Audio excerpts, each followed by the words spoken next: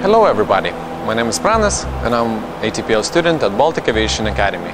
Today we'll check the differences in cockpits of a Boeing 737 and an Airbus A320. So let's just go and check them out. So, to begin with, the Boeing 737 Classic has most of its instruments analog, as you can see here. But there are four electronic flight instrument displays, two on either side of the pilot. They're called the primary flight display and navigation display.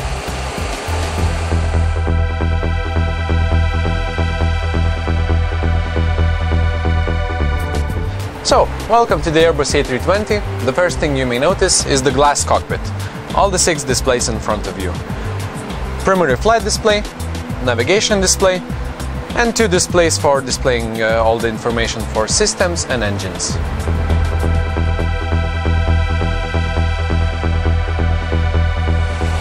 So let's continue.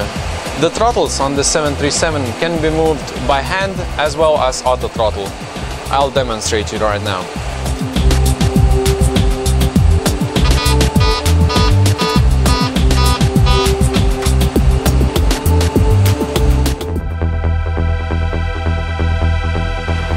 Now, contrary to the Boeing, the throttles are not moved by the auto thrust system.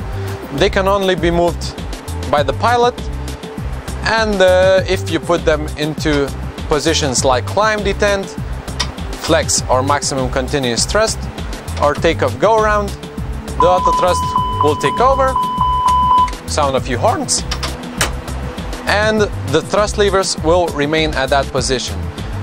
Uh, one bad thing about this, if you have a fault in electronic system, you may have no thrust at all, and you may be stuck with an engine running until you run out of fuel.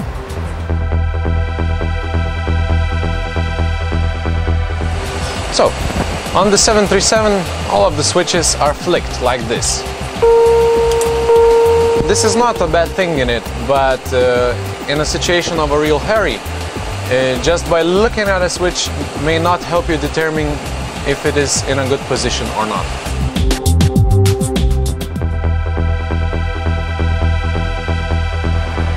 Now, on the Airbus A320, as you can see, most of the switches are pushable. Why this is good? This is good because you can immediately see if a button is in a wrong position or a good position by just looking at a light. I'll demonstrate you. You can see an off light, this means bad, and no lights, this is good. Just by scanning through the overhead panel, you can see what switches are good and what are bad.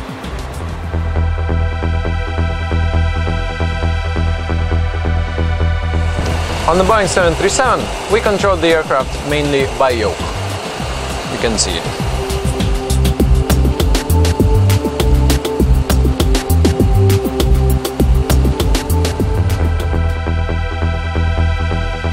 And on the Airbus, you have a joystick.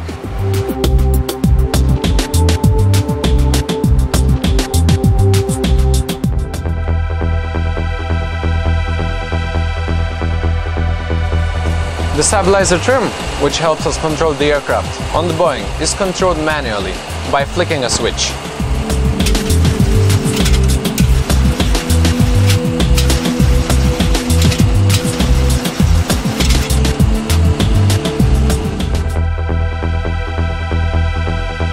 The Airbus has auto trim. This means that you control the trim only when you have a computer failure.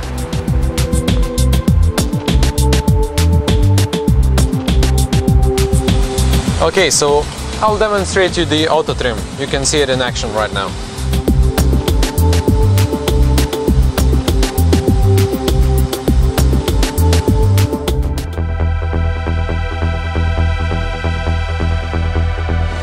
Now, if we have a failure on the 737, we have to use a paper book called the Quick Reference Handbook. Uh, I will demonstrate you with an engine fire.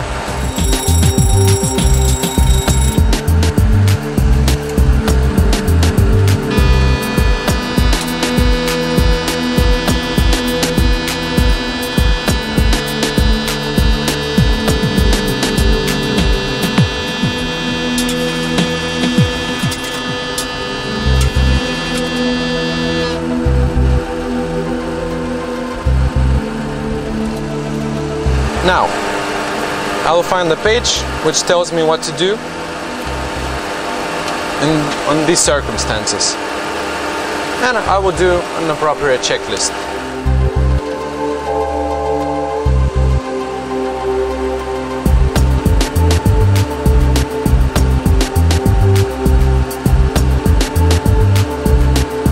Another thing which you have to do on the 737 after an engine failure is trim the aircraft by yourself, trim the aircraft manually. This includes the stabilizer trim, which we talked about earlier, and the rudder trim, which trims the tail to help us to compensate with the side forces coming from the engine failure.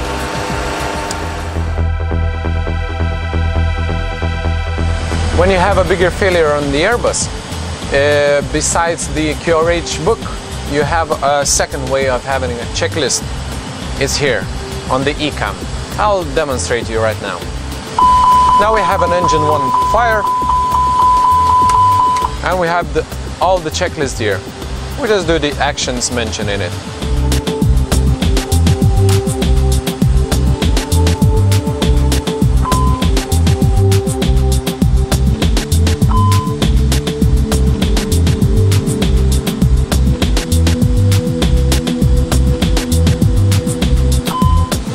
On the Airbus, when you have an engine failure on asymmetric thrust, uh, the aircraft trims everything by itself. Uh, we had to trim the rudder manually on the Boeing. Now everything is trimmed. I can release everything, the autopilot is off, and it flies straight. It handles no differently than having two engines.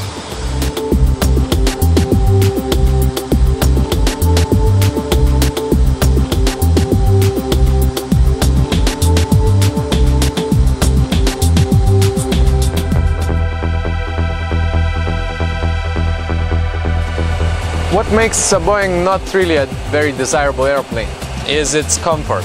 Uh, if you want to put your feet anywhere else than the standard positions by the pedals, uh, well, you have to improvise. I'll try. You can put your feet like this, or you can get into something like this, I don't know. And in the Boeing, if you want to stand, bad news for you. And if you want to fill any papers, you'll just have to do it on your lap. Jesus Christ. Now, the Airbus was made with pilot comfort in mind. You even have a good place to rest your feet.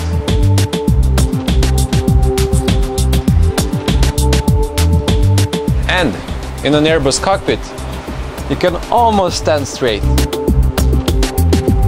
And if you need to fill any papers on the Airbus, no problem at all. You have a table. On it, of course, you can eat.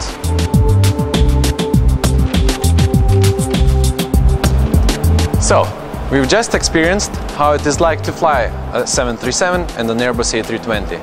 I hope that it's now going to be easier for you to make a decision which one you like more. This was Baltic Aviation Academy. Thank you.